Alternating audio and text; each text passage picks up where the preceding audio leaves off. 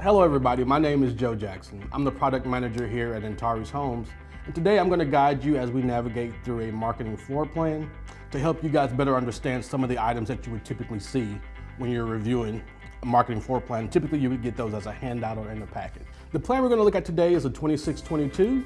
So if you're ready, let's get started. We're gonna start at the foyer and you'll see on the marketing file each room for the most part is labeled. And as you enter the foyer, you have uh, two arched or square openings, one in front of you and one on the side of you. The one on the side is open to the dining room, and those dashed lines across that initial opening lets me know that there is an, either an arched opening or a square type opening that's going to lead you into that space. And the same in front of you, if you look toward the space going in toward, you know, looking toward the family room, you see another dashed opening. It's not nearly as wide as the one on the right, but it also signifies that there is either an arched or square opening in front of you as well that you're gonna walk through to get into that next space. But starting with the dining room, if you go into that dining room, you see kind of a octagon shaped dashed line. What that's telling you is that in that ceiling, you have an octagon shaped recess or pop-up in the ceiling of that particular room. So the room's gonna have a nine foot flat ceiling, but I wanna say about a one foot six from each wall is gonna box up to a different height ceiling in that space. That's what that little dash line means within that dining room space. So if we come back into the foyer and head into the space that's typically we would call this space, it's not labeled on this plan, but we would call that like the extended entry. You walk through an arched or square opening and you see another rectangle inside that space on the ceiling. And what that is, is again, you have a flat ceiling that boxes up to a higher ceiling in that space. It's a decorative element that gives a little bit more character to that space. And as you continue through that extended entry, you see another set of dashed lines in front and also to the left. The one in the, in the front of you, that again takes you into the rest of the house, but the one on the left takes you into down the side to where the secondary bedrooms are. But again, that dashed opening is, is letting you know that there's another arch or square opening that you have to pass through to get to that next space. And if we continue to go forward, you see that in that next space, you have additional, basically, uh, ceiling with another box up or recess pop up in the ceiling. And once you get to the end of that, you see that there's another arched opening that leads you into that kitchen family room space. So coming down that extended foyer, you have one, two, three different arched or square openings that lead you inside that space until you break that last one and you get into the, the kitchen area. So we come into the uh, kitchen area, you see as soon as you step in, step past the arched opening, you see on the right-hand side, you have what we call a niche. And the niche is basically a little place that you can put decorative elements, pictures, and things of that nature to, to more customize that particular space to, to your liking. On the left-hand side, you'll see that you have a long island with the sink and the dishwasher within that island. And that island is a flat surface. It's not raised. It's all one continuous flat surface. And what tells me that is you look at the perimeter of that island, because there's no solid line that's breaking that depth of that opening, that lets me know that that's a completely flat uh, countertop. There is no break like you would see in older bars that has a raised bar and a lower countertop.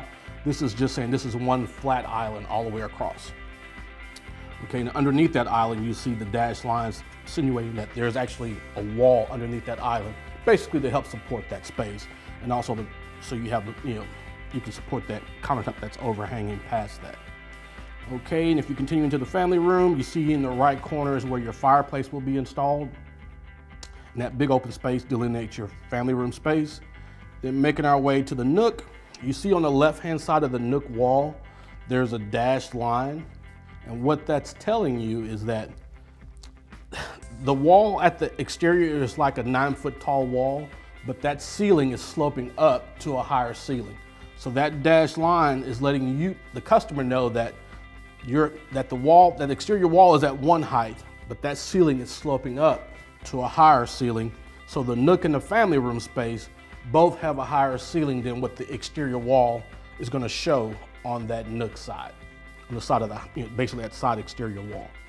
And also in addition to that, you see in the nook there's basically what we call a box out window seat. That's a little area where the seat's about 18 inches off the finished floor. Then you have two windows above it. That's what that picture is delineating. So if we make our way over back to the master bedroom, but before you get to the master bedroom, you'll see that there's another series of dashed lines that's creating either an arched or square top opening to one enter into the vestibule of the master. And then once you're in that vestibule, you'll see there's another niche located in that wall that you can have something, again, decorative or painted a different color to draw you into that space. So once you're in that vestibule, you see the door into the master, so you can go inside the master bedroom. But if you look on that far wall of the master, you see that dashed line again, that's telling you that that exterior wall is at one height, but the ceiling is sloping to a different height. So that outside exterior wall could be like at nine feet, but that plane is actually sloping up to possibly a 10 foot ceiling in that master space. And that's what that dash line is gonna you know, represent. And if you make your way into the master bathroom, you see you have basically the tub that's centered along with two vanities on either side of the tub. And it's kind of the same look as the uh, seat that you saw in the nook area. You have a similar situation above the master tub that's gonna have a box out above the tub with the window at the rear. So basically you have a little ledge, I mean, that's maybe eight, to eight inches above where the actual tub deck is. You have about eight inches, then you have a ledge that you can decorate however you see, you see fit. And of course you have the window that's behind it. And directly opposite of that space, you see what's basically what would be your shower. And if you notice, there's a, a dashed line you know, at the entrance of that shower. That's gonna tell me that there's either an arched or lower ceiling than what the main ceiling is in that space to kind of give more emphasis on that shower area. And in, and in addition to that, you see that there's that the shower is like three feet wide, but then there's a long solid line. That tells me there's, there's basically a seat in that shower. So that seat's gonna be raised above the actual shower to about 18 inches above the finished floor. So you'll have a seat in the, the whole length of that shower. Now, if you continue into the master closet, you see that same sloped ceiling in the bathroom and also the master closet. So basically that exterior wall. So if you look at the plan, the exterior wall of the master closet, the master bathroom, and the master bedroom start to the nine foot plate and basically slopes to a taller ceiling. And also in that master closet, you see you got two sets of lines in that master closet. The, the main set that goes around the perimeter of the closet, that represents a rod and shelf. And in, Antares homes, typically the master closet would have one section that's two rods, two shelves, and everything else will be one rod, one shelf inside that master closet. But you also have, in addition to the, the one rod, one shelf, you have a series of you know, like shoe shelves when you first open, come into that uh, master closet, you see that that solid line on the basically on the left hand side of the plan. That tells me that there's basically a bunch of you typically with us five shelves that you that are designed for basically like your shoe rack. So that's your shoe rack, and you have your rod and shelf around the perimeter to hang your clothes. We can go to the far side of the kitchen, then come through another arched or square opening to access bedroom two and bedroom three. You see that arch, and if you go into bedroom two, you see basically on the left-hand side of that exterior wall, again, you have a ceiling that's probably at nine foot, and you have a ceiling that's sloping up to 10 foot inside that, that bedroom area. Same for bedroom two. Now we make our way into the utility room. You see, in the utility room, we also have a rod and shelf over the washer and dryers. Now those can be upgraded to upper cabinets, but the standard is to have a rod and shelf over your washer and dryer. And it's typically the width of the, of the washer and dryer pair. So like five, five, five foot six, something along those lines as far as the width. Now also, if you make your way into the garage area, you'll see a square with a circle in it. That's basically to let you know where your water heater is gonna be located.